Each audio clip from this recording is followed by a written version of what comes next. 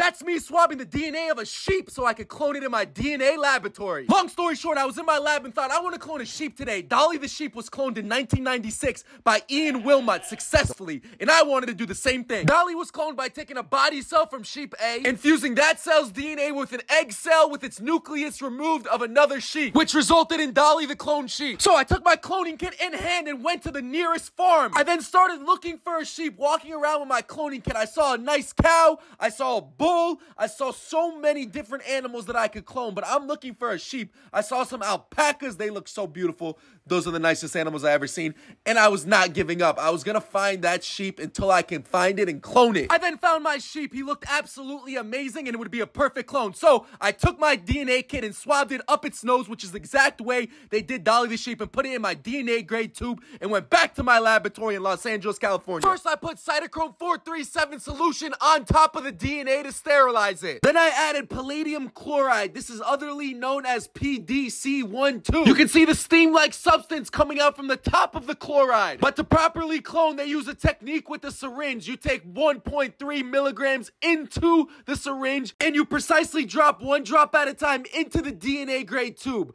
As you're doing it, you want to count each one. You want to do about 100 to 125 individual drops onto the tip of the DNA not missing a single drop. After you count your last drop of chloride, you want to close up the DNA grade tube very, very tightly so nothing drips out. You then want to place the DNA inside a nitrous oxide sub-zero tank for 48 hours. That's the DNA of the sheep after 45 days. That's 60 days. That's 65 days old. And soon I will have a full-grown sheep like Dolly for myself.